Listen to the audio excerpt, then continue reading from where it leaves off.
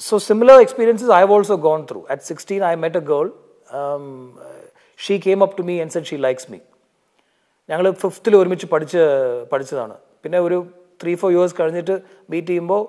ഞാൻ വളരെ ഇൻസെക്യൂറായ വളരെ ഷൈ ആയ ഒരു പേഴ്സണാണ് അപ്പോൾ she came up to me and said she likes me and we spend some time together ഒരു one year we we suppose to be going around but we would just talk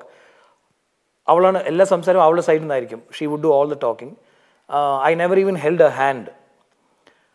But at the end of one year, she said, uh, I don't like this because you haven't even held my hand. I don't want this എന്ന് പറഞ്ഞിട്ട് അവൾ പോയി